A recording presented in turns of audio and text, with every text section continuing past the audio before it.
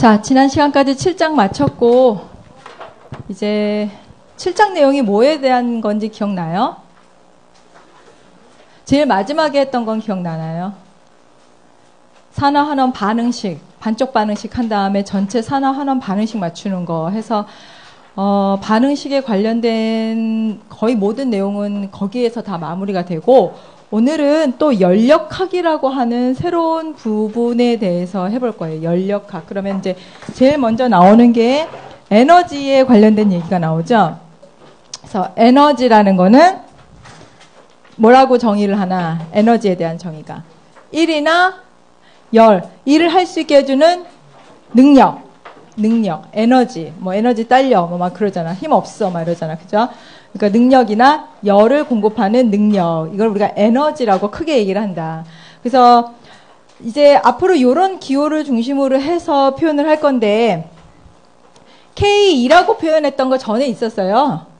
어, kinetic 에너지라고 했던 거, 그죠? 여기서는 그 표현을 똑같은 내용인데도 E에 K라고 표현을 해. 저게 이제 운동 에너지에 관련된 내용이어서 kinetic 에너지. 또 하나는 potential 에너지.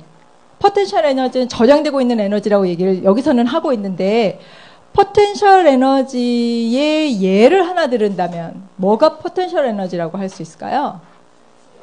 위치 에너지 같은 거, 그쵸? 위치. 그러니까 높은 위치에 있는데 얘가 지금 떨어지지는 않는데 얘를 높은 위치에 공이 있다. 얘가 떨어지지는 않았어요. 근데 얘가 만약에 떨어지게 되면은 그 밑에 바닥에 많은 에너지를 그 높이에 따라서 아주 많은 에너지를 전달해 줄 수 있을 거 아니야. 그죠?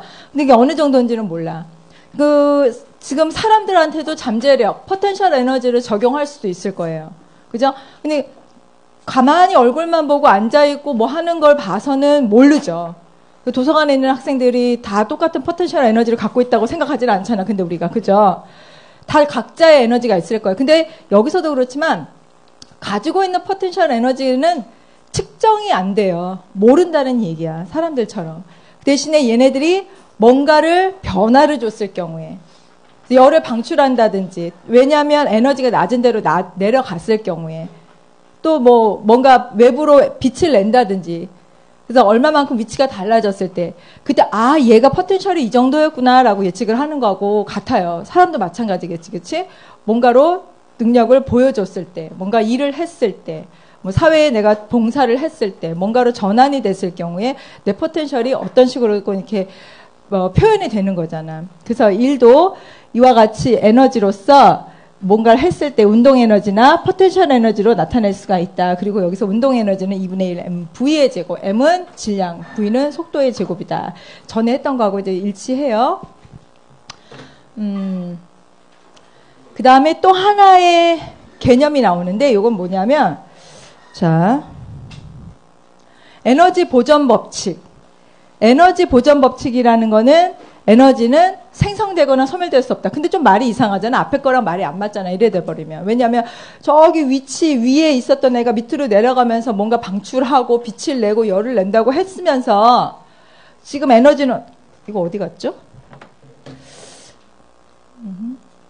내가 막 눌렀나? 잠시만. 자, 예. 그래서 에너지는 생성되거나 소멸될 수 없다. 지금 뭐 어떻게 변화가 된다고 해놓고서는 생성되거나 소멸될 수 없다라고 얘기를 하고 있잖아. 그쵸? 그게 뭐라고 얘기했어요? 대신에 뭐는 가능해? 한 형태에서 다른 형태로 변화는 가능해요. 그렇지만 변환된 그 모든 것까지 다시 다 합하면 결국은 에너지는 늘 일정하다. 에너지 보존 법칙하고 관련이 있어요. 우리가 지금 하려고 하는 얘기들이. 그래서 지금 여기 보면은 음 수로를 따라서 물이 이렇게 떨어지면서 밑으로 내려올 때 여기에서 지금 터빈을 돌리고 그 다음에 외부로 나가면서 이게 일을 하게 된다는 수력 발전 댐에 관련된 이야기예요. 여기서 물이 하는 역할이 바로 뭔가요? 에너지를 제공해 주는 역할을 하죠. 어떤 식으로? 물이 터빈을 돌려요. 어떻게 돌려요? 가만히 똑같은 레벨의 물이 흐르면 터빈을 쉽게 돌리지 못할 거야. 지금 뭘 이용하고 있는 거야? 높은 데서 낮은 데로 떨어지고 있어. 위치 에너지를 이용하는 거죠. 그 위치 에너지의 위력이라는 게 우리가 크게 실감을 못하는 경우가 있는데 뉴스에서도 왕왕 나오잖아. 사고. 어? 뭐, 어, 뭐, 아파트 옥상인가요? 어디에서 뭐 벽돌을 떨어뜨렸는데 괜히 지나가다가 사람이 맞거나 이러면은 그거는 그야말로 그냥 사망이지, 그치? 근데 거기까지 안 가더라도 예전에 실험을 한 적이 있었어요. 그거는 실제로 방금 전에 한 거는 저거야 실제 사고가 있었던 예를 뉴스 보도를 얘기를 하는 거고 과거에 어 과학 실험을 한다고 해서 퀴즈 같이 무슨 뭐 나왔는데 두부 두부 한 판 있지 두부 있죠. 한 모가 아니고 이거 아예 한 판. 그것도 그냥 쉰두부 그러니까 실험을 용으로 쓰는 좀 뭐 오래된 쉰두부를 가지고 이렇게 막 그 기중기 타고 이렇게 위로 위로 위로 막 이렇게 올라갔어요. 꼭대기. 그래서 거기에서 두부를 던진 거야 밑으로. 근데 그 어디에 맞았냐면은 차 밑에 차 승용차. 근데 그 승용차가 폐차하려고 하는 차였어요. 그냥 멀쩡한 차면 또 망가지잖아. 근데 그 승용차에 딱 맞았는데 앞에 유리창이 콱 찌그러지고 그 프레임이 이렇게 약하지만 그 철로 돼 있잖아. 그쵸? 근데 두부에 그 승용차 앞 프레임이 콱 찌그러지고 유리가 다 깨지고 그랬단 말이야. 그러니까 그만큼의 위치 에너지의 사례를 실예를 보여주는 거죠. 그러니까 이게 높이 높이 올라가면 올라갈수록 더 많은 잠재력을 위치 에너지를 가지고 있다는 얘기예요. potential 에너지를 가지고 있다는 얘기예요. 이렇게 에너지로 전환이 가능하다. 또 하나의 에너지는 뭐요? 예, 열 에너지. 그러니까 분자들이 막 이렇게 운동을 하잖아요. 지금 이제 온도가 높아지기 시작하면서 이제 여기서 만약에 온도계를 하나 이렇게 놨으면 실내 온도가 예전보다 이렇게 올라가겠지. 이 안에 있는 온도가 아무래도 과거보다 올라갔으니까 막 분자들의 운동이 활발해지면서 이런 걸 가지고 우리가 온도를 측정할 수가 있다는 얘기예요. 열 에너지. 그 다음에 열이라는 거는 뭐냐면 온도가 다른 두 물체 간의 이동. 이걸 우리가 열이라고 한다. 그래서 각각의 개념에 대해서 조금 정의를 좀 해둬야 돼요. 음. 자, 이제 요 법칙을 뭐라고 한다? 연력학 제일 법칙. 연력학 제일 법칙이 뭐라고요? 생성될 수도 없고 소멸될 수도 없고 늘 일정한 상태로 유지한다. 우주의 에너지는 일정하다. 이게 연력학 제1 법칙이에요. 굉장히 큰 법칙이죠. 그죠? 우주의 전체 총 에너지는 일정하다? 이게 막 그 뭐 별이 폭발하기도 하고 별이 생성하기도 되고 빛을 내기도 하고 뭐 이러는데 그걸 다 합쳐도 에너지는 전체가 다 일정하다? 지금 이런 얘기를 하고 있는 거예요. 그죠? 이걸 가지고 우리가 이제 적용을 해볼 거예요. 어떻게? 어, 연력학 제1법칙에 의해서 고립계의 전체 내부의 에너지는 일정하다. 자, 일단 여기에 또 용어가 하나 나와요. 개라는 얘기가 나와요. 개. 개라는 거는 저기 안에 괄호 치고 나와 있나? 시스템이에요. 시스템. 그리고 고립계라는 게 있고, 그 다음에 어, 서라운딩이라고 해서 주의라는 표현을 써요. 그 다음에 개 시스템, 시스템은 경계면 같은 거야. 그래서 내가 내부에서 주위로 이 안에서 주위로 열을 방출하느냐 또는 주위에서 에너지를 안으로 받아들이냐에 따라서 우리가 그 발열 반응이다, 흡열 반응이다 뭐 이런 표현을 쓰거든요. 이때 델타 2에서 델타가 의미하는 게 뭐죠? 변화량이에요. 근데 어디에서 어디에 변화량이냐? 에너지 나중에서 에너지 초기 처음의 에너지에서 나중의 에너지 요 둘의 차이를 보는 거야. 그러니까 나중의 에너지가 최종 에너지에 해당되는 거죠. 나중의 에너지가 에너지를 더 받았어. 초기 에너지에 비해서 에너지가 더 높아. 그러면 델타 2는 플러스 양수 반응이 되겠죠. 그렇죠? 이런 경우가 뭐냐면 외부에서부터 내가 에너지를 받았을 경우 그때 최종 에너지가 더 높아지기 때문에 이런 경우에는 델타 E 자체가 양수값이 돼요. 지금 여기 델타 E는 최종에서 초기 값을 빼는데 여기 지금 플라스크 이 안, 플라스크 자체를 우리가 뭐라고 얘기할 수 있냐면 여기가 경계, 계면이 될 수가 있어요. 계가 될 수가 있는 거예요. 시스템이 될 수 있는 거, 경계면. 그리고 반응물들의 혼합물, 여기서 계는 반응물들의 혼합물이고 이 안에 지금 플라스크 안에 무슨 시료 두 개를 섞어놨을 거 아니야, 그쵸? 그래서 걔네들이 화학 반응을 일으킨다는 얘기예요. 그러면 플라스크 자체는 경계면 울타리가 되는 거야. 그리고 그 안에서 지금 반응이 일어나고 있다는 거를 여기 계라고 표현을 하고 있는 거예요. 그래서 혼합물이고 그 다음에 이 경계를 벗어나는 외부를 우리가 뭐라고 얘기하냐면 주위라고 표현하는 거예요. 그러니까 이 강의실의 벽면이 되는 게 경계면이 되는 거죠. 담벼락, 경계면, 울타리. 그리고 요 시스템이 요 안에서 지금 일어나고 있는 일이야. 안, 내부에서, 내부계. 그 다음에 이 강의실 외부의 모든 것, 강의실을 제외한 나머지 모든 게 다 주위가 되는 거예요. 그래서 여기서 지금 이 플라스크 안에서 반응이 일어나가지고 뭐 온도가 올라갔다든지 온도가 내려갔다든지 하는 경우가 있을 거 아니야, 그쵸? 그 반응이 일어나기 위해서 주위로부터 열을 끌어다 써야 할 경우도 있고 반응을 일으키면서 외부로 주위로 열을 방출해야 되는 경우도 있어요.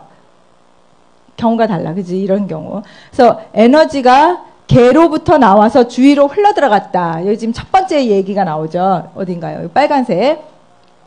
주위로 흘러 들어갔다. 외부에서 주위로 흘러 들어갔다. 그럼 이게 무슨 뜻이에요? 내가 여기 이 안에 있었는데 저 바깥에다가 에너지를 준 거예요. 그러면 주위는 에너지가 지금 높아지는 상황이 되겠죠. 그러면서 여기 최종 에너지 자체가 원래보다 어떻게 됐어? 낮아졌을까요? 아니면 올라갔을까요? 단 여기서 중심은 누구냐면 중심은 주위가 아니고 계 안에 있는 요 플라스크 안이 중심이 되는 거야. 중심이 누구냐에 따라서 이게 부호가 달라지기 때문에 굉장히 조심해야 돼요. 관심사는 우리가 지금 살고 있는 이 안이라고 봐야 되고 관심사는 플라스크 안쪽이라고 봐야 돼. 그래서 이 플라스크 안에서 지금 반응을 해가지고 외부로 열을 방출해 줬어요. 그죠? 그러면 그렇기 때문에 이 최종 에너지는 처음의 에너지보다 더 에너지 상태로 봤을 때 낮아지는 상황이 되는 거야. 그리고 거꾸로 얘기하면 요 파란색 면은 주위로부터 에너지를 끌어당겼어요. 그러니까 최종 에너지하고 나중 에너지하고 비교해 봤을 때 어느 쪽이 에너지가 더 높을까? 언제가? 처음 에너지가 더 높을까요? 아니면 외부로부터 에너지를 끌어당겼을 나중 에너지가 더 에너지가 높을까요?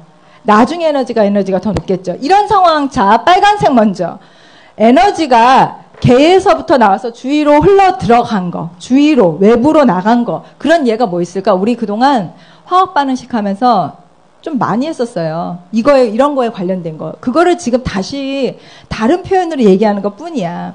자, 경계면 안에서, 경계,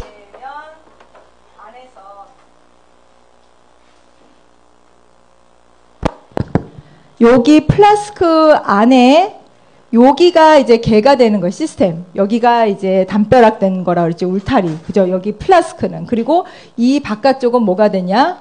여기가 주위라고 하는 거예요. 그러면 계에서 주위로 에너지를 주는 경우가 있어. 그러면 이런 경우에는 외부로 에너지가 나간 거죠. 그런 애가 어떤 상황일까? 예를 들면 이 개 안에 A하고 B라는 물질이 있는데 얘가 나중에 C하고 D라는 물질로 변환이 됐어요. 그러면 원래 있었던 상태보다 나중 상태의 에너지 레벨이 지금 낮은 상황이죠. 그죠? 요 에너지 낮은 상황만큼 뭐 했을까? 주위로 에너지를 방출했다는 얘기예요. 그러니까 지금 얘가 가지고 있는 에너지가 최종 상태의 에너지가 처음 상태의 에너지보다 더 낮은 상황이죠. 그죠? 그러니까 낮은 상황에서 높은 상황의 에너지를 빼게 되면은 델타 E 값은 마이너스 부호를 갖게 된다는 얘기야. 즉, 발열 반응의 예가 될 경우 개에서 주위로 열을 방출해줘. 이 주위는 어떻게 될까? 더워지겠죠. 따뜻해지겠지. 그죠? 근데 하나 조심해야 될 거는 개, 시스템 안에서 A하고 B라는 물질이 변환이 돼서 C하고 D라는 물질이 되면서 에너지가 안정한 대로 내려간 거죠.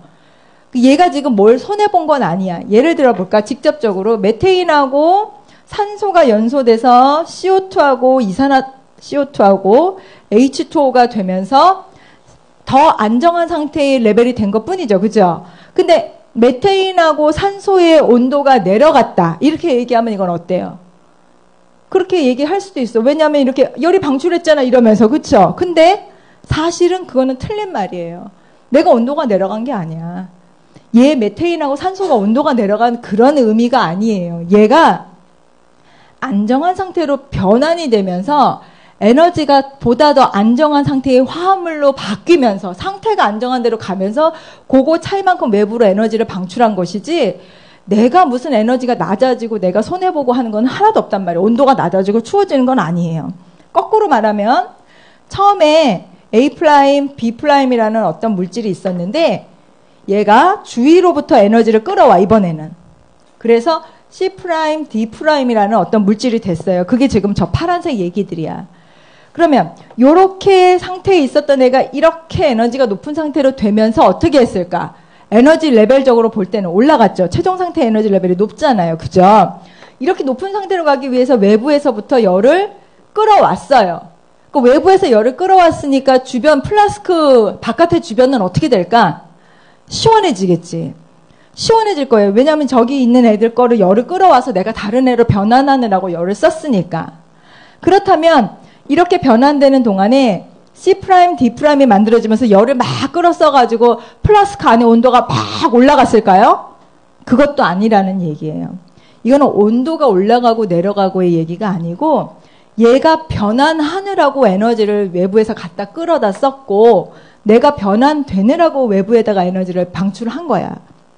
그래서 플라스크 안의 온도가 끌어왔다고 올라가고 내줬다고 내려가고라는 개념은 없어요. 잘못된 거예요. 음.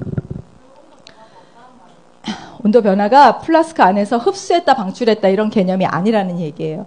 이때 이제 우리가 얘기하는 그 온도 변환이라는 거는 어디를 봐야 되는 거야? 주위를 봐야 되는 거야, 주위. 얘가 온도 변환이 이것이 없다는 얘기, 여기에서 이렇게 변환이 되느라고 없고 플라스크가 막 뜨거워지고 막 차가워지고 그거의 개념이 아니라는 것이지 이게 지금 에너지 레벨적으로 내려갔으니까 얘는 어떻게 됐겠어? 이걸 뭐라고 설명해야 돼, 이제?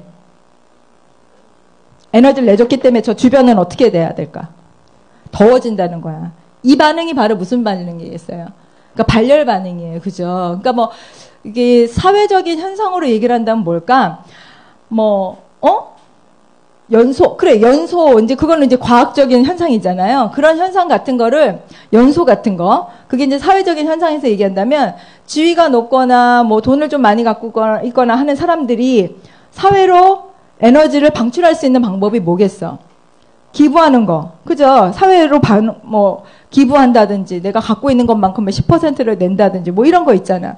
외부로 방출할 수 있는 방법이 그거예요. 그렇다고 해서 내 돈이 막 자꾸 자꾸 없어지고 막, 막 구멍 나고 막 이러는 그런 현상하고는 또 다른 얘기라는 거야. 그치? 막 내가 헌청만청 쓰는 그런 돈이 아니잖아. 환원하는데 내가 사회에서 받은 것만큼의 환원하는 내부의 그 에너지가 되는 거잖아. 대신에 보다 더 안정한 상태로 가는 거예요. 그냥 안정한 상태의 레벨로.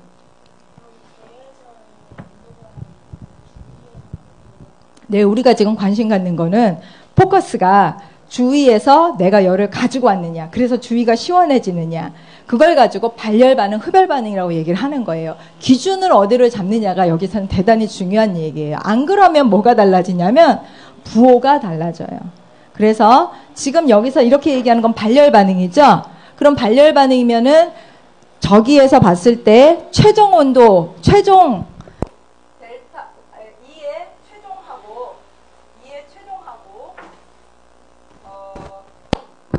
이에 최종하고 이에 처음하고 요 차이를 뺀 게 델타 2가 되잖아요. 그죠? 예. 네. 델타 2가 될 때 요 반응이 부호는 뭐가 돼야 될까 그러면? 마이너스가 되는 거지. 왜냐하면 낮은 데서 높은 데를 뺐으니까요. 그죠? 그 다음에 요건 뭐가 되겠어요? 역시 낮은, 낮은 데가 아니고 나중에서 처음 걸 뺐을 때 이때는 에너지가 높은 데서 낮은 걸 빼니까 이때는 플러스 방향이 되는 거예요. 이런 식으로 어 발열 반응, 흡열 반응, 주위로 열을 받느냐 뺐느냐에 대한 개념이 헷갈리기 시작하면 부호가 달라져요. 그래서 우리가 해석하는데 서로 다른 얘기를 하게 돼. 그러니까 요 기본적인 개념이긴 하지만 이게 좀 중요하다는 얘기예요. 자, 그래서 혼돈되지 않게 기준을 딱 잡고 들어야 돼. 알겠죠? 지금 여기서 무슨 얘기를 하고 있어요? 메테인 연소시키고 있죠? 그럼 연소하는 반응이니까 이거는 무슨 반응이 되겠어요? 외부로 열을 그렇지 방출하는 반응이에요. 그럼 외부로 열을 방출하는 반응이기 때문에 이쪽 그래프하고 이쪽 그래프하고 비교를 해본다면은 이 그래프가 맞나요? 이쪽 그래프가 맞나요? A가 맞나요? B가 맞나요? A 그래프가 맞겠죠. 그래서 에너지를 방출하는 거죠. 근데 여기서는 에너지 방출을 어떻게 표현했냐면 잘 보세요.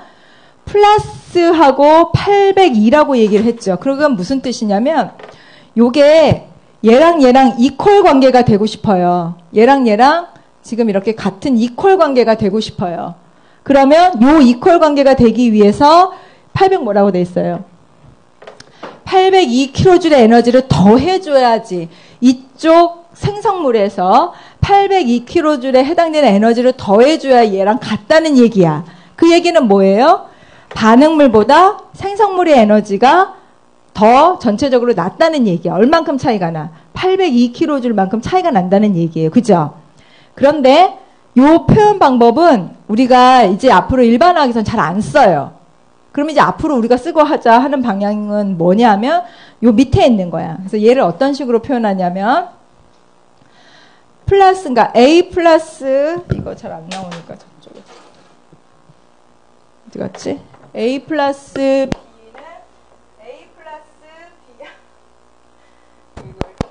맞지? A 플러스 B는 C 플러스 D 해서 여기가 802kJ 뭐 이랬었죠. 그죠? 근데 이 표현을 이제 앞으로 안 쓴다는 거야. 그럼 어떤 식으로 표현하느냐? 요거는 델타 그리고 뭐라고 돼 있어? 델타 2라고 돼 있어요. 예, 델타 2를 우리가 앞으로 뭐라고 얘기할 거냐면 H라고 표현하고 어, 여기 부어보세요. 802kJ. 아까는 여기다가 플러스 802라고 썼었지. 그죠? 그 차이만큼 더해줘야 되니까. 근데 지금은 마이너스라고 표현했어. 이게 왜 그러느냐? 지금 방금 전에 얘기했던 우리의 기준, 개, 경계, 그리고 주의, 요걸 중심으로 해서 기준을 바꿔가지고 외부로 에너지를 방출했을 경우 우리는 마이너스라고 표현을 하는 거예요. 왜 마이너스인지 아까 봤지? 생성물이었을 때 에너지 레벨이 낮았잖아요. 그러니까 최종 상태에서 처음 상태를 뺄 때 나중 최종 상태가 에너지가 낮으니까 그래서 마이너스 보호가 붙는 거야. 알겠죠? 이러고 저러고 헷갈리면 할 수 없지 뭐. 그냥 외워야지. 뭐라고. 마이너스가 발열이다 이거야 이제. 근데 그 사연은 앞에서 다 얘기를 했어요. 그 얘기 하려고 했어. 자 이제 또 하나 용어. 앞에는 계속 줄줄줄줄 용어예요 아 강의는 강의 이렇게 하는 거는 교재에서 중요한 부분들의 써머리잖아요. 근데 이걸 다 듣고 나서 내가 100% 교재를 다 이해했다. 그건 좀 아닌 것 같아. 그러려면 어떻게 해야 되냐면 일단 강의 듣기 전에 책 읽어오는 게 제일 좋은 거고 그게 안 돼 있으면 듣고 나서라도 책은 다시 읽어야 돼요. 알겠죠? 요게 지금 우리 강의하고 있는 내용이 전체 책에서 가장 중요한 부분이야. 요렇게 마치 써머리처럼 요약되어 있는 것만 공부하는 거하고 책 전체를 하나하나 다 읽어보고 하는 건 깊이가 달라요. 그러니까 특히 교재를 읽어야 전체적인 줄거리를 다 그림을 그릴 수가 있어. 그래서 이렇게 짚어주는 것만 하지 말고 교재를 한번 전체적으로 꼭 읽어봐야 돼요. 자, 여기서 상태 함수라는 얘기가 나와요. 이거 물리화학을 하게 되거나 물리를 할 때도 이제 상태 함수라는 얘기가 나와. 상태, 상태 함수가 뭐지? 여기 그러면서 지금 막 그림이 나와 있잖아. 뭐 미국 교재니까 이런 식으로 표현돼 있어요. 어, 캘리포니아 주에서 어디 다른 데로 이동하는데 이 경로가 이렇게 여러 가지 경로가 있나 봐. 나는 이제 한라산으로 얘기해 그래가지고 한라산을 올라가는데 한라산 한쪽 면은 경사가 이렇게 완만한 데가 있고 다른 쪽은 경사가 이렇게 급한 쪽이 있어요. 근데 우리가 처음 음, 입구에서 시작해가지고 한라산 꼭대기까지 딱 올라가는데 경로가 여러 개 있고 노선이 여러 개가 있지만 결국은 시작하는 데하고 끝나는 데 만나는 데는 똑같잖아. 그쵸? 그러면 우리가 뭐라고 얘기하냐면 이런 상황을 상태함수라고 얘기해. 얘가 A 코스, B 코스, C 코스 가는 게 중요한 게 아니야. 무슨 코스가 중요한 게 아니고 어디서 시작해서 어디로 끝나느냐만 보겠다는 거야. 그걸 우리가 상태함수라고 얘기해요. 그러면 뭐 좀 억울하다고 생각하는 사람들이 있을 거야. 뭐야. 이렇게 코스 가면 시간은 많이 걸 완만하긴 한데 시간은 많이 걸렸단 말이야. 또 이 사람은 야 나는 얼마나 힘들게 올라왔는데 내가 조금 빨리 올라오긴 했지만 무지무지 고생했어 하는 경우도 있을 거 아니야, 그쵸? 그런 건 어떻게 나타내느냐? 여기 상태 함수 밑에다가 하나 더 표시를 한다면 경로 함수라는 게 있어요. 경로 함수. 물리를 깊이 공부를 조금 더 하게 되면은 그런 내용이 나와. 함수, 뭐, 일함수냐, 뭐, 뭐냐, 뭐 이런 거에 따라서 경로함수가 되기도 하고 상태함수가 되기도 해요. 경로함수는 그럼 뭐냐? 얘는 아무 상관없다 그랬잖아. 어느 경로로 가든지 간에. 근데 경로함수라는 거는 경로에 따라서 일이 달라져요. 그래서 물리 들어가면 카로사이클이라는 얘기가 나오고 A에서 B로 갔느냐. 시작은 똑같아. 시작은 똑같이 시작을 했어. 어느 코스로 가든지 똑같이 시작을 했는데 내가 이 코스로 가느냐, 이 코스로 가느냐, 이 코스로 가느냐에 따라서 다 일이 각각 다르다고 얘기를 해줘요. 그런 게 경로함수야. 근데 우리가 이제 앞으로 얘기하는 거는 경로함수 말고 상태함수 가지고 얘기할 거예요. 자, 막 넘어가기 전에 앞에 걸 좀 다시 정리하자. 여러분, 우리가 용어에 대한 얘기들을 지금 하고 있죠. 열, 열 에너지, 또 뭐 있었죠?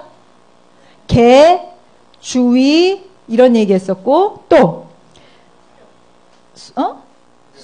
흡열, 그렇지. 흡열 반응, 발열 반응 얘기했었고, 또, 델타 E 어떻게 계산하는지에 대한 얘기를 했었고, 그래서 흡열 반응, 발열 반응 또 얘기가 나온 거죠? 또, 또 뭐 있어요? 상태 함수 방금 전에 얘기했었죠?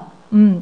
그러니까 이런 용어들이 이렇게 줄거리를 잡아야 돼. 아마 처음 접하는 사람은 이게 무슨 얘기지 감이 안 잡힐 거예요. 근데 여러 번 반복해서 읽는 수밖에 없어. 그지? 그래야 우리가 지금 8장에서 하려고 하는 얘기들이 그림이 그려져요. 이제는 우리가 일로 가볼 거야. 직접 일을 한번 해볼 거야. 일이라는 거는 뭐하고 뭐하고의 관계? 힘. 내가 힘을 얼만큼 줬느냐 하고 거리야. 그 말은 무슨 얘기냐면 내가 벽민을 하고 벽을 밀기 위해서 엄청나게 힘을 써서 한 시간 그러고 밀고 있었어. 근데 뭐 했다고 보는 거야, 여기에 의하면. 일을 안 했다고 보는 거야. 너는 일한 게 뭐 있어? 너 아무것도 안 했네. 내가 힘 빠지고 배고프고 그래도 일을 안 했다고 보는 거야. 왜? 거리가 제로가 되는 거니까. 그죠? 아무것도 안 했다고 보는 거예요. 그래서 일이라는 거는 내가 가해준 힘과 거리의 곱이다. 서 우리가 힘을 F라고 하고 여기서는 거리를 D라고 얘기를 해요. 근데 이제 이 거리라는 거는 H라고 표현하기도 해. 높이의 변화로 표현하기 위해서는 교재마다 이제 그런 건 달라요. D냐, H냐, S냐, 뭐 각각 이렇게 표현해. 다 거리를 나타내는 거야. 자, 그러면 여기 지금 네 소음이 좀 되게 크네. 자, 요 지금 여기에서 반응이 어떻게 진행되고 있어요? 저 파란색에서 요 갈색으로 가기 위해서 어떻게 하고 있어? 응?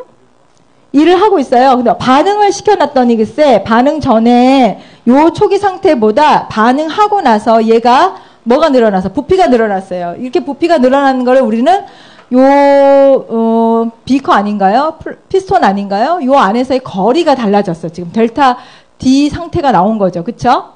오케이. 자, 그 다음.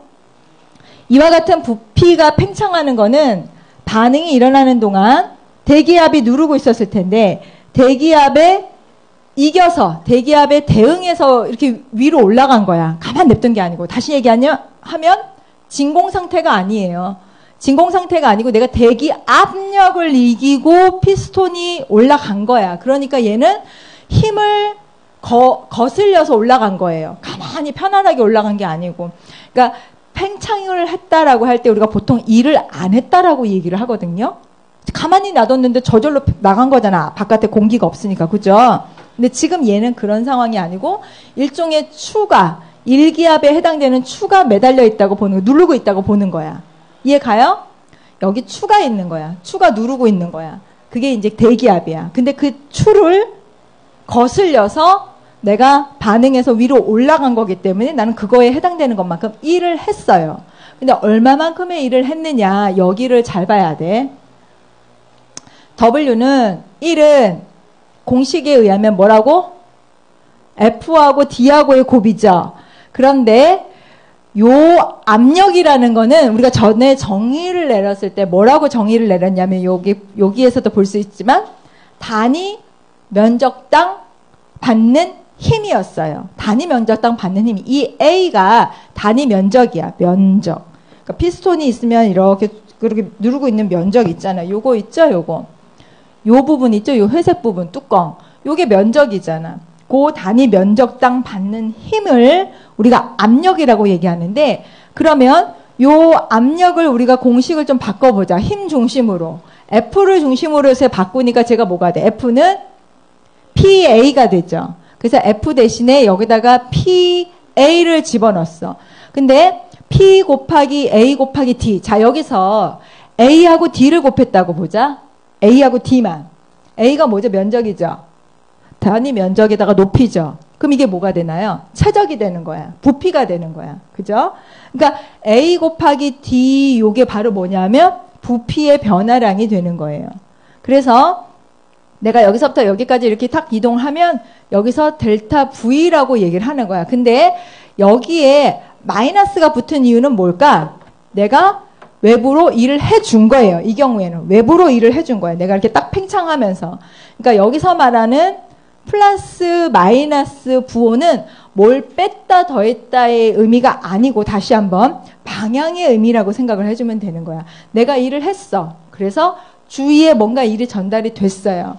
그러면 그때는 이게 마이너스 부호로 표현을 해주는 거야. 그래서 마이너스 P 델타 V가 곧 1이 된다라고 이렇게 공식이 정리가 되는 거예요. 이 공식은 이제 앞으로 왜 저렇게 유도됐는지 한번 얘기를 했으니까 두 번 얘기 안 하고 그냥 대입해서 쓸 거예요. 알겠죠? 음. 자, 이제 반응에 의해서 그러면은 일이 이렇게 팽창됐다 그랬는데 어떤 식으로 일이 팽창되는가 봤더니 어, 이게 지금 뭐죠? C 3개 H 8. 음? EM 플러스 E 생각나요? 어. 그러면 얘는 포화탄화수소일까? 불포화탄화수소일까? 포화예요. EN 플러스 2가 뭐가 EN 플러스 2가 돼야 돼? 수소의 개수가 탄소의 개수에 비해서. 그러니까 탄소가 3이죠. 거기에 3 곱하기 2 더하기 2를 해봐. 그러면 8개가 나와. 그 수소가 8개가 됐다는 건 전부 다 단일 결합, 시그마 결합, 음, 하는 그런 포화탄화소예요. 그 포화탄화소를 연소시켰더니 이산화탄소가 물이 나왔어. 왜? 탄화수소는 연소하면 다 물하고 이산화탄소밖에 안 나오잖아. 자, 이렇게 반응을 했을 때, 요게 지금 반응물이에요. 이렇게 반응을 했더니 얘가 시, 어, 이산화탄소하고 물이 만들어졌는데 이때 부피가 이것만큼 팽창이 됐다는 거예요. 요 얘가 이거 이 한 얘가 되는 거야. 어, 왜 부피가 팽창됐지? 보니까 기체 반응에서 앞에 있는 개수, 몰수, 부피는 같은 거예요. 개수비, 몰수비, 부피의 비는 같다고 얘기했었잖아. 기체 반응의 법칙에서. 그죠? 그러니까 이게 앞에 있는 이게 다 기체들의 반응인데 앞에 있는 이 개수가 부피의 비 또는 몰수비가 되는 거예요. 그러니까 부피가 6몰에서 또는 뭐 6ml 뭐 이런 식으로 부피가 6에서 7로 늘어났다는 얘기죠. 그죠? 부피 자체가 증가했다. 몰수가 증가했다. 같은 얘기예요. 기체에서만 얘기가 되는 거예요. 그래서 이것만큼 내가 팽창하면서 일을 했다라고 보는 거죠. 됐죠? 오케이. 여기까지 한것 중에서 혹시 궁금한 거 있으면 질문. 이렇게 음, 적용을 하는 거야. 음. 혹시 다른 교재에 있는 사람들은 다른 교재랑 같이 나중에 도서관 가면 다른 일반학 책들 많잖아요. 요 부분에 해당되는 거를 같이 병행해서 읽어도 도움이 될 거야. 음. 자, 그 다음에 팽창의 일이라는 게 무슨 뜻이냐? 개에서 부피 변화의 결과로 행해진 일, 압력, 부피 또는 PV 또는 요거를 1이라고 한다. 그래서 압력과 부피 변화량을 요거 우리가 1이라고 얘기를 했으니까. 그죠? 뭐 앞에 있는 얘기하고 같은 얘기예요. 됐죠? 여기까지? 이건 이런 일이 있는가 하면은 이거에 반대되는 일은 당연히 있겠죠. 예, 요거 압축하는 일이잖아. 그럼 압축되려면 내가 외부에서 일을 받아야지 압축이 되지. 가만히 있는데 내가 막 저절로 쭈그러들거나 그러진 않을 거 아니야. 그쵸? 그래서 압축이라는 거는 저 외부에서부터 나한테 일을 해줘야 돼. 그래서 내가 부피가 줄어들게 되는 거야. 그 경우에는 부호가 반대가 되겠죠. 이런 식으로 일을 해줬네, 일을 받았네 하는 게 얘기가 달라지는 거야. 이거를 이제 하나하나 숫자를 놓고 계산을 할 거예요.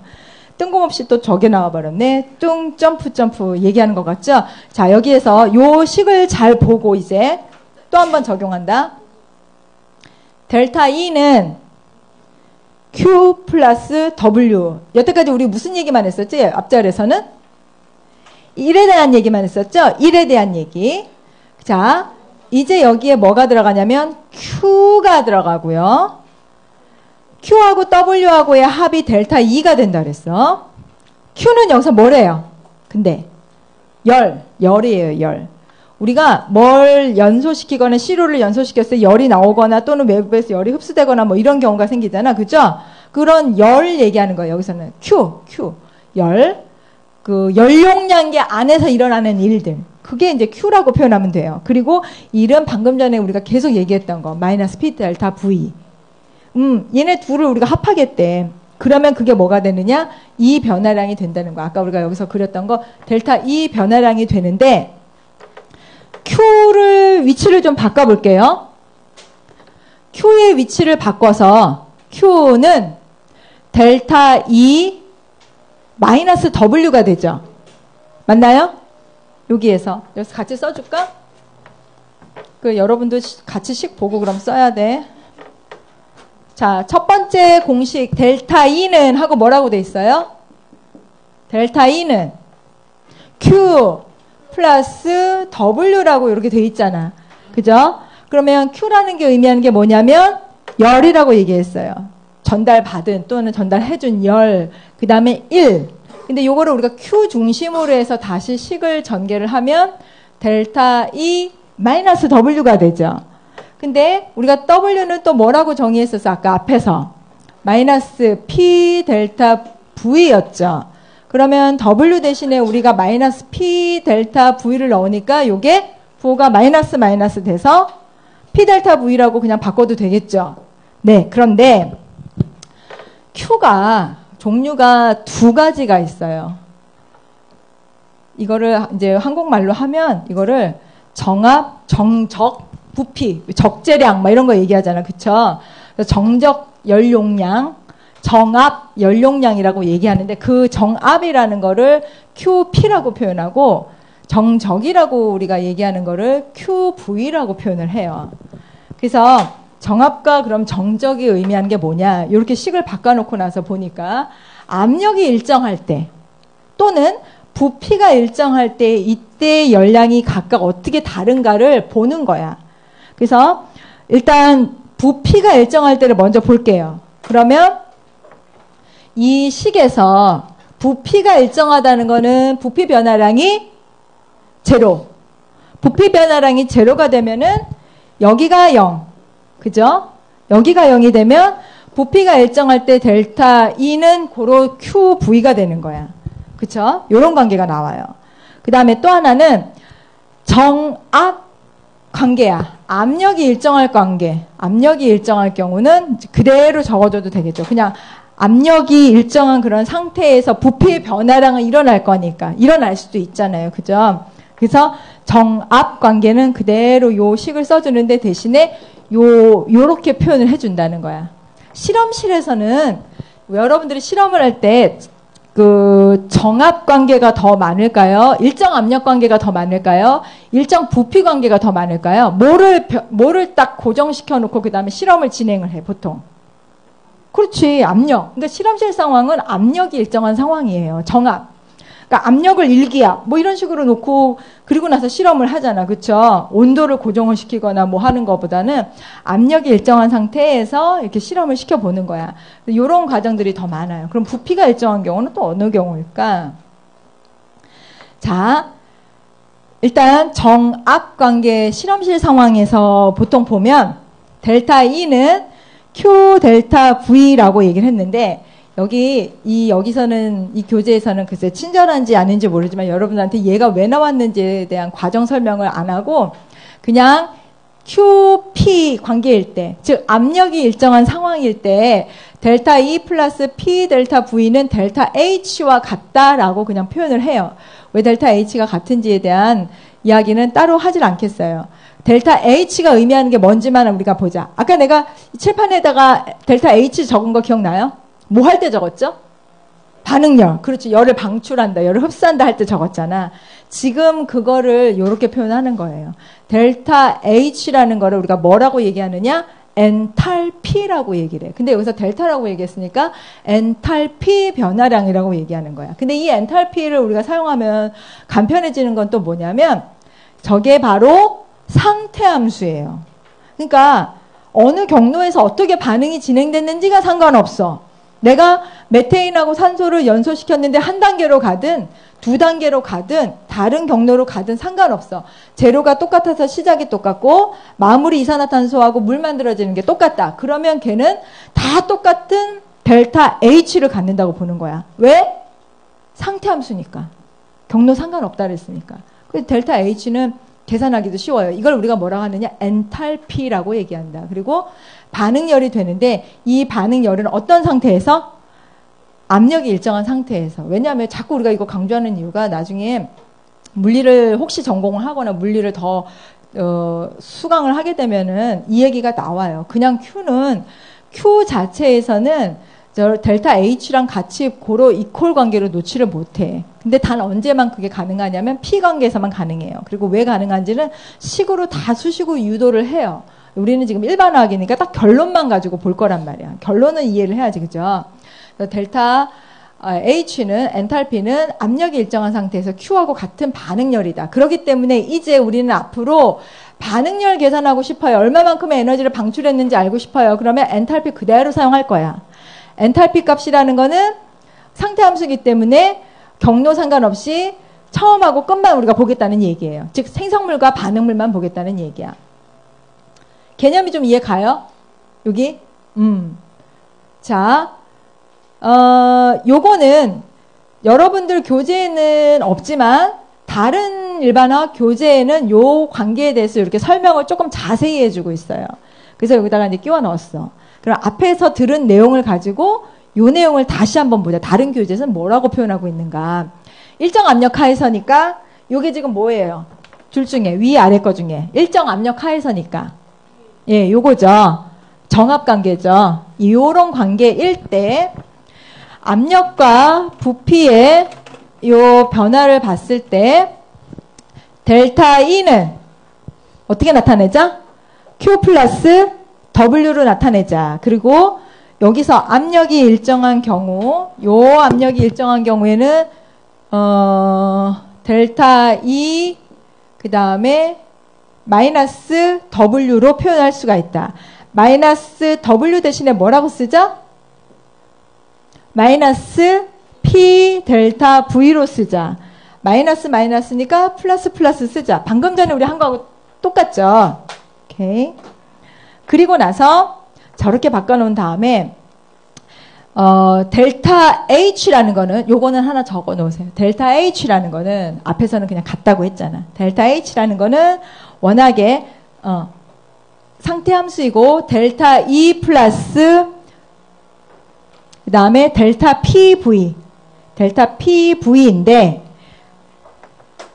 나중에 물리하면은 이런 이런 값을 계산하는 게 나와요. 그럼 델타 PV 플러스 P 델타 V 뭐 그다음에 P 델타 V 뭐 이런 값이 나오는데 여기에서 우리는 이 값을 다 무시할 수가 있어. 왜? P가 일정한 상태라고 얘기를 했으니까 압력이 일정한 상태에서의 관계이기 때문에 델타 P는 상관이 없어요. 그죠? 무슨 말인지 이해 가요? 얘 계산하면 델타 PV 플러스 P 델타 V라는 식이 나와. 교환 법칙처럼. 그런데 델타 PV는 관계가 없어요. 왜냐하면 델타라는 P는 없으니까. 왜? 우리가 어떤 상태일 때 얘기하고 있어요? 압력이 일정한 상황이잖아. 1기압이면 1기압. 이런 상황에서 얘기를 하잖아요. 그래서 P 델타 V만 우리는 관계가 있는 거예요. 그래서 P 델타 V만 지금 남겨진 상황이에요. 아까는 우리가 그냥 그렇게 놓고 썼죠? 자, 그러면 델타 H는 델타 E 플러스 P 델타 V다. 그렇게 하고 나서 보니까 얘랑 얘랑 지금 어때요? 똑같아 보이죠? 닮은 꼴이죠? 그러면 우리가 뭐라고 쓸 수 있는 거야? 델, 어, 델타 H는 델, 이 Q하고 같은 관계다. 언제? 압력이 일정할 때. 라고 볼 수 있는 거죠. 그래서 아까 우리가 이거를 받아들이자고 얘기를 한 거야. 이거 이콜 델타 H다. 바로 이게 델타 H로 이제 앞으로 놓고 쓰자. 언제? 압력이 일정할 경우에만 이게 가능하다. 그래서 일정 압력 상태에서 PV하고의 관계는 델타 H의 열의 변화랑 과 같다. 요 식이 나오는 거예요. 오케이. 그래서 요거를 그럼 이게 과연 문항으로 어떻게 나오나?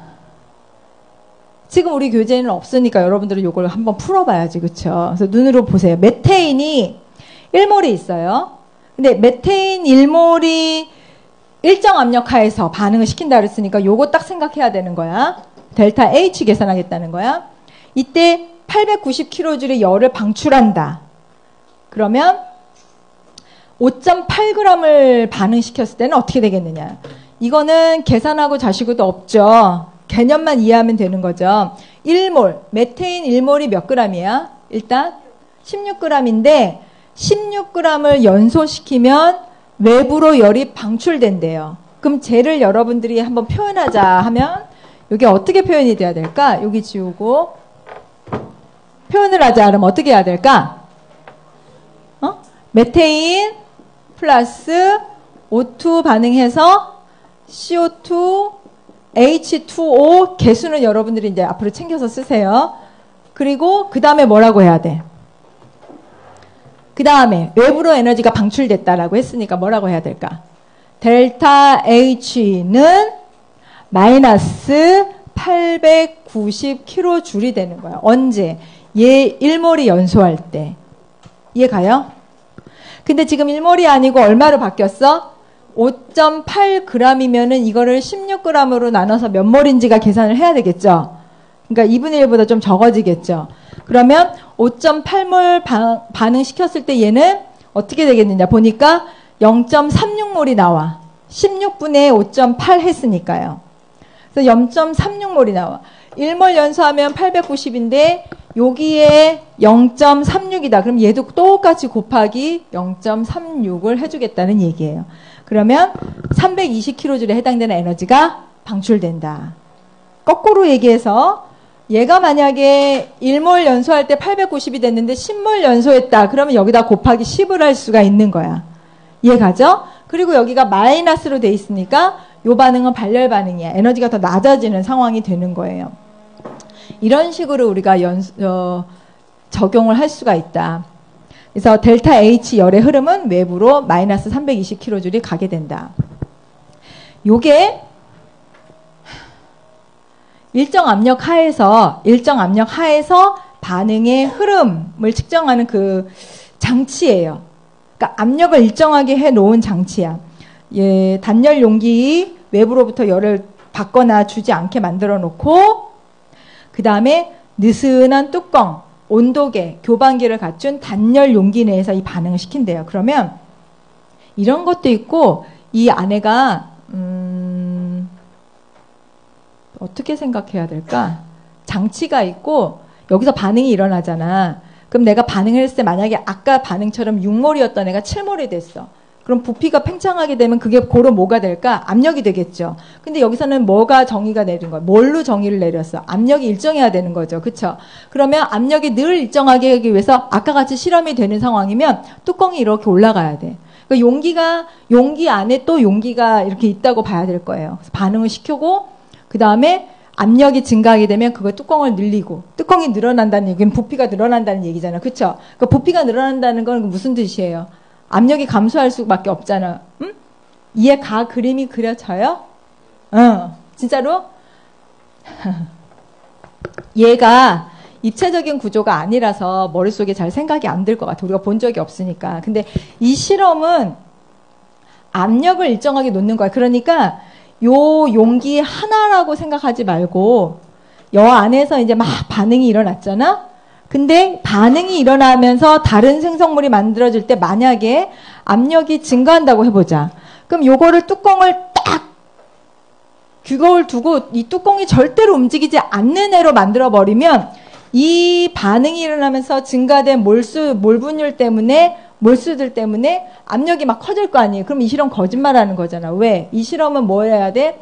압력이 일정해야 된단 말이야. 그래서 만약에 반응이 일어났을 때 생성물들에 의해서 압력이 증가하게 되면 뚜껑이 이렇게 위로 위로 팽창 증가할 수 있게. 그래서 이 실험하면서 나타나고 있는 모든 상황에서의 압력은 늘 일정하게 컨디션을 주는 거예요. 압력이 달라지지 않게. 그런 상황에서 이 실험을 지금 하겠다는 얘기야. 그래서 일정 압력 상태에서 그런 상황일 때 그런 상황일 때 델타 H를 우리가 고로 Q로 보겠다는 얘기예요. 음, 그리고 나서 나머지는 다 측정할 수 있는 거니까 온도계 꽂아서 온도 측정할 수 있고. 근데 그게 궁금하죠. 그럼 압력이 일정한 건 그렇다 치자. 부피가 일정하다는 건 도대체 뭐냐? 압력이 일정한 것과 부피가 일정하다는 거의 차이가 뭘까? 얘는 열량이 실제로 달라요. 같은 화합물을 가지고 반응을 시켜도 압력을 일정하게 했느냐, 부피를 일정하게 했느냐에 따라서 이게 정압, 정적, 열 용량 자체가 열량이 달라져. 그래서 저걸 계산하는 거야. 근데 지금은 뭐가 일정한 거예요? 부피가 일정한 거야. 이건 어떻게 해야 될까? 저 실험 일어나는 내내 딱 움직이지 않는 챔버야. 챔버의 부피가 항상 같아. 요, 요 안에가 항상 같아, 부피가. 얘처럼 압력이 증가하면 이게 뚜껑 위로 살짝 올라가고 그게 아니고 얘는 딱 고정되어 있는 부피 안에서 반응하는 거예요. 우리 아마 실험실에서 하는 많이 본 거는 요 열량계일 거예요. 봄배 열량계라고 해서 이렇게 딱 고정되어 있는 거. 부피가 딱 정해져 있는 그 안에서 실험하는 거야. 그러면 얘가 뭐가 돼 있냐면 이 안에 저 파란색이 뭐죠? 물. 저 파란색이 물이에요. 그 다음에 골고루 대류할 수 있도록 젖개가 있어. 외부에서 이렇게 저어주는 거야. 여기 단열돼 있고요. 그다음에 온도계 꼽아서 온도가 얼만큼 올라갔는지를 볼 거야. 온도가 왜 올라갈까?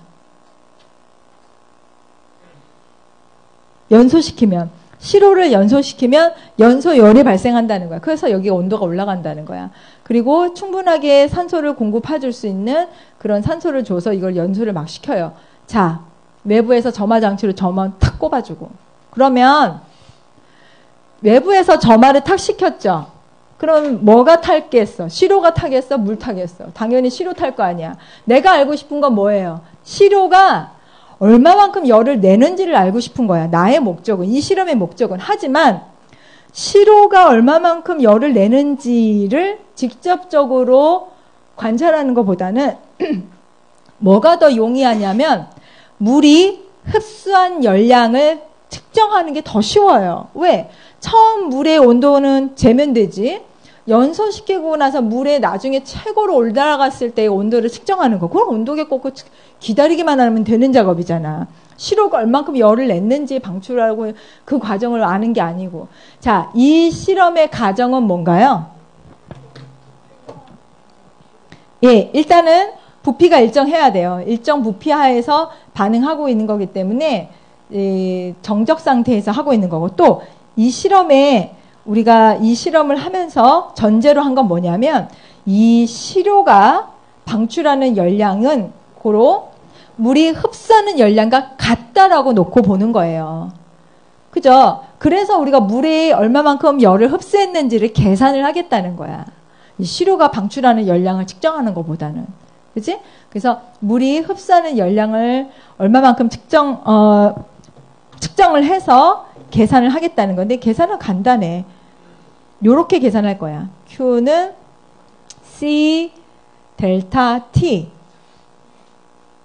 근데 여기서 이제 C라고 하는 거는 어떤 특정한 물질을 온도를 얼마만큼 올리는데 필요한 열량. 그죠? 그래서 이걸 우리가 뭐라고 하는 연용량이라고 얘기해. 연용량. 그리고 1몰의 연용량, 물질 1몰의 온도를 1도 올리는데 필요한 연용량을 몰 연용량이라고 얘기를 해요.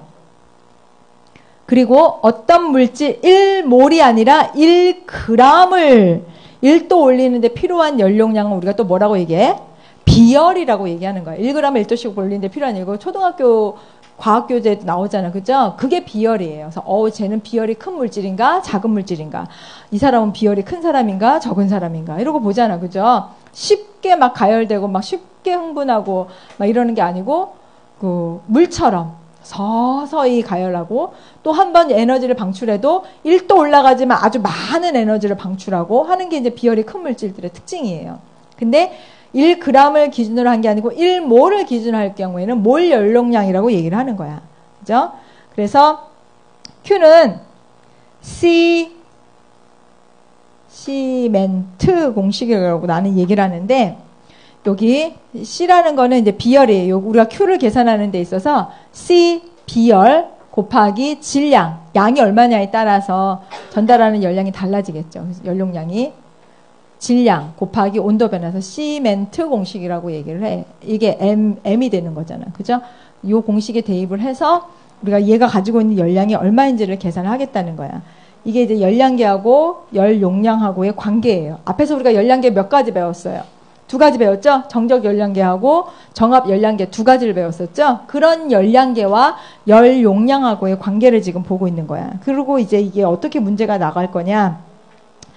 나가기 전에 보면 공기는 지금 연용량이 어때요? 공기는 29. 그 다음에 물은 거기에 비하면 75. 굉장히 연용량이 커요. 그러니까 1도 올리는데 그만큼 많은 에너지가 많이 필요로 해. 공기는 공기에 비해서 빨리 가야 되고 빨리 쉽게 식고 하는 거에 비해서 물은 연용량이 커요. 그러니까 아주 온도가 높다고 하는 사막 지역에서도 건조하기 때문에 나무 그늘 아래만 들어가면 서늘한데 우리나라 같은 경우는 사막 지역보다 온도가 더 높지는 않잖아요. 여름이라고 해도. 근데 불쾌지수는 높잖아. 그 이유가 뭐야? 장마 지나고 난 다음에 공기 중에 수분이 많아지기 때문에 공기 수분이 가지고 있는 열 용량, 잠열이라고 해요. 그런 열 때문에 더 덥게 느껴진다는 얘기야. 자, 그래서 이런 문제를 같이 한번 풀어보세요. 소다? 네. 소다와 물은 동일한 비열을 갖고 있다고 해요. 그렇다고 가정했을 때, 한 캔의 소다를 25도씨에서 3도씨로 냉각할 때, 어, 냉각은 소다가 냉각이 되는 거죠. 차가워지는 거죠. 그죠? 그럴 때 전달되는 열량은 얼마이겠는가? 요거를 계산하래. 그럼 시멘트 공식을 이용하는 거야. 그러면 물하고 같다라고 정의를 내리자고 했으니까 이게 소다 음료수를 얘기하는 거네요. 그죠? 소다 음료수. 물이 많으니까 이제 물과 비열이 같다고 보는 거야. 그럼 비열 곱하기 질량 곱하기 온도 변화라고 했잖아. 그러니까 비열이라는 게 물의 비열은 1.4, 아, 4.18. 그죠? 4.18 곱하기 질량이 얼마라고 그랬어요? 350. 350g. 그 다음에 온도 변화. 해서 온도 변화는 25도에서 3도 차이가 되는 그러니까 델타 T는 22도가 되겠죠. 그래서 이때 발생한 열량을 보면 32kJ이다. 줄로 놔둬도 되고요. 동그라미 3개 지워서 kJ로 바꿔도 상관없어요. 그러니까 전달된 열량, 즉 내가 온도가 22도에서 3도씨로 25도에서 3도씨로 내려가면서 외부로 전달한 열량은 또는 뭐 네, 전달된 열량은 32kJ에 해당된다.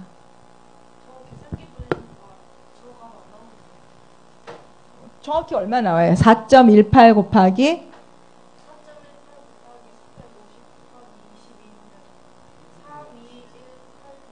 아, 186 정도 나와요. 예. 뭐, 뭐, 오차 범위 내에서 4.18 했어, 정확히? 4.18 했어요? 응? 정확히? 다른 계산기 있는 사람 한번 또 계산해 봐.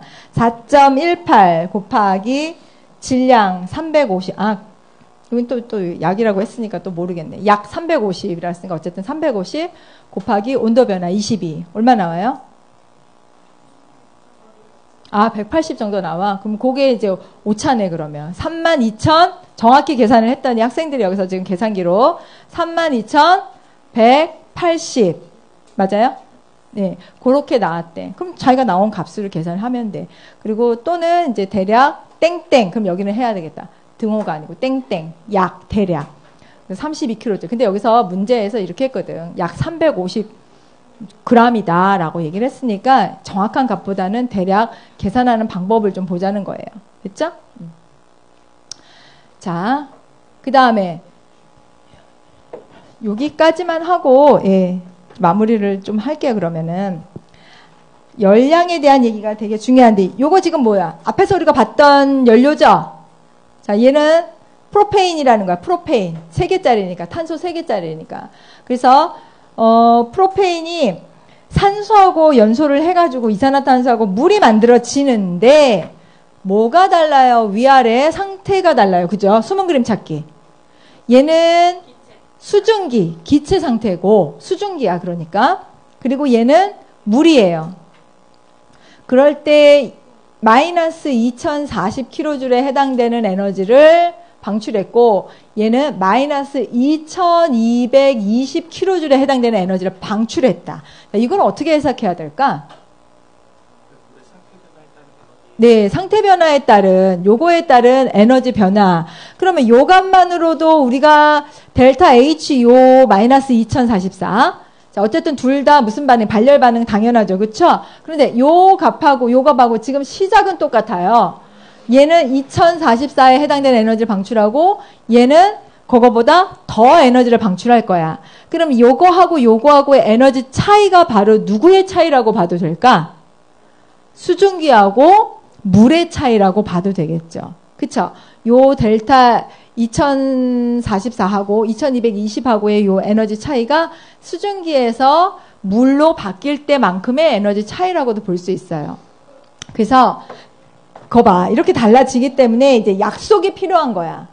나는 나는 수증기로 했는데 어 나는 물로 했는데 이래버리면 안 되잖아. 그죠? 나는 얼음인데 그래버리면 안 되잖아. 그래서 약속이 필요한 거야. 연력학에서의 표준 상태 1기압. ATM이 기압이죠. 1기압 상태에서 어, 압력과 명시된 온도 그리고 또는 별 얘기가 없으면 상온이야 상온. 근데 그 상온이 얼마로 생각을 하고 있냐면 25도씨예요. 25도씨에서 가장 안정한 물질의 형태 또는 용액 상태의 물질에 대해서는 1몰일 때의 농도 1몰일 때의 농도. 요거를 우리가 기준으로 해서 얘기를 하기 때문에 요 둘 중에 누가 기준이 되냐면 위하고 아래 거 중에서 위에 걸 기준으로 해서 얘기를 하자. 이제 앞으로 이렇게 통일이 되는 거예요. 별 얘기가 없다면 위에 게 기준이 되는 거예요. 그래서 앞에서 우리가 그 연용량 두 가지를 이용해서 계산하는 방법 공부했고, 그 다음에, 어, 요 이제 기준에 대한 얘기를 했어요. 그죠? 그러면 델타 H가 뭐라 그랬지? 오늘 한 거, 오늘 한 거에서 델타 H는 엔탈피. 델타 H는 어떤 상태에서 Q라고 생각해도 된다 그랬죠? 압력이 일정한 상태, 정압 상태에서 델타 H를 지금 보세요, 그러면. 자, 용융. 용융이 뭐죠? 어, 그 상태 변화 여러분들 기억나요? 고체에서 액체로 갈 때는 뭐 한 거야? 액, 액화는 이제 기체에서 액체로 갈 때, 그때가 액화가 되는 거고요. 그 다음에 어, 용융 또는 융해열 이렇게 얘기를 해요. 그래서 어떤 물질을 녹이는데 필요한 열량, 즉 고체에서 액체로 가는 동안에 필요로 하는 그런 열량들을 얘기를 한다. 그러면 액체에서 고체로 가는 건 뭐라 그러죠? 응고라고 얘기를 하죠. 그 다음에 고체에서 기체, 기체에서 고체로 가는 건 우리가 승화라고 얘기를 해요. 나머지는 쉬워. 말 그대로 따라가면 돼. 뒤에 거. 기화, 액화. 이런 식으로. 요 융해라는 말은 고체에서 액체를 녹일 때 필요로 하는 열량이다. 증발 엔탈피는 그럼 뭘까? 증발할 때 필요한 열량. 그래. 그래서 여기서는 액체에서 기체로 갈 때를 얘기하는 거죠. 그렇죠? 기화되는 거하고 똑같은 말이야. 단 여기 지금 보세요. 온도 변화 없이 온도가 일정한 상태가 유지가 되면서 어떤 물질을 증발하는데 필요한 열량. 왜 온도가 일정하지? 거짓말하는 것 같지 않아요? 어? 증발하려면 뭐 필요해? 주위에서 열을 가지고 와야 되는 거죠. 그죠? 주위에서 열을 가져와야 돼. 그런데 여기서 말하는 온도의 변화가 없다는 얘기는 누구 하는 거야? 누구 얘기하는 거야? 개의 얘기를 하는 거야. 이렇게 중심이 누구냐를 잘 잡는 게 중요하다는 거예요. 나는 주변에서 계속 열을 끌어다 쓸 거야. 잡아오고 가지고 오고 하지만 나는 온도 변화가 없어. 왜 온도 변화가 없을까? 얘가 증발하는데 에너지를 주변에서 가져온 걸 그대로 쓰는 거야. 가지고 와서 쓰고 가져와서 쓰고 하기 때문에 내가 상태 변화하면서 온도 변화가 없는 그런 중이에요. 자, 아까 여러분들 의심했었잖아. 어, 온도가 왜 안 바뀌지? 플라스크 안에서 들어왔는데 또는 나갔는데 지금 그런 얘기를 여기 기준을 잡아주는 거야. 그죠? 그 다음에 마지막으로 승화 엔탈피라는 거는 고체에서 기체로 가거나 기체에서 고체로 가거나 어쨌든 이것들이 상태가 저렇게 변하는데 뭐가 안 거쳐? 액체 상태를 거치지 않고 나서의 그 엔탈피 변화량을 각각 융해 증발 승화 엔탈피라고 얘기를 한다. 이렇게 정의를 내려요. 음, 그래서 이 부분이 뭐에 해당되는 거야? 이 가, 가장 긴 거. 여기가 승화 엔탈피에 해당이 되는 부분이죠. 그 다음에 고체에서 액체로 가는 이 부분이 뭐가 될까? 어, 융의 엔탈피가 되고요. 여기서 일로 가는 거는 뭐가 될까요? 증발, 증발 엔탈피가 된다. 델타 H 뭐 1모를 증발시키는데 필요한 엔탈피. 어, 그런데 지금 내가 승화를 알고 싶어요. 승화를 알고 싶어서 지금 어떻게 계산을 하겠다는 거야? 융해하고 증발을 합해도 된다는 얘기야. 자, 이거는 잘 기억해 두세요. 다음 시간에 우리가 헤스의 법칙이라는 걸 얘기할 건데 예를 들면 헤스의 법칙하고 같은 거야. 이것들 델타 H가 상태 함수이기 때문에 어느 경로를 가든지 간에 상관없이 얘는 일정해요. 그러면 어떤 장점이 있느냐? 예를 들어서 여기에서 일로 가는 걸 몰라. 여기가 X예요. 근데 이것과 이거는 알 수 있거나 실험이 굉장히 간단해. 근데 얘는 몰라. 또는 비용이 많이 들어. 그런 경우에는 우리가 이 헤스의 법칙을 이용해서 아는 함수를 대수적으로만 계산을 하면 돼. 산수 계산하듯이 산술적으로. 그러면 우리가 모르는 애를 예상할 수 있다는 거예요. 그때 물론 똑같이 아까처럼 계산기 눌렀을 때랑 여기랑 좀 다르죠? 그렇게 정확하게 답이 나오진 않아. 근데 오차 범위 내에서 인정을 할 수가 있어요. 그 굉장히 실험을 하지 않고 비용을 추가하지 않고도 산술적인 계산으로만 그 정도 예측할 수 있다는 것 자체가 그, 어, 의미가 있는 거예요. 그래서 헬스의 법칙을 그런 용도로 사용하겠다 하는 의미에서 요 그림도 기억을 해둘 만 해. 혹시 여기까지 한 거 중에서 궁금한 거 있으면 질문. 안 끝났는데 왜 벌써 가방 싸고 그래? 어? 여기까지 한 거 중에서 궁금한 거. 네.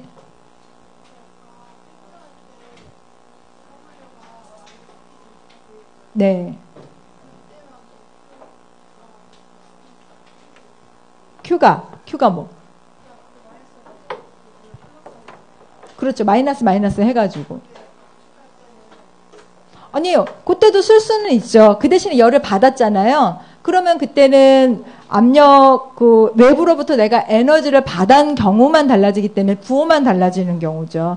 이게 압력이 QP의 압력이 일정한 상태에서 외부로 에너지를 받거나 주거나 하는 경우만 인정이 된다면 그거는 다 상관없어. 대신에 델타 V가 달라지겠죠. 그 경우에는 델타 V가 뭐의 값으로 될까? 델타 V 자체가 컸다가 작아질 거 아니야. 그러면 또 그쵸? 그럼 또 마이너스 값이 될 거 아니에요.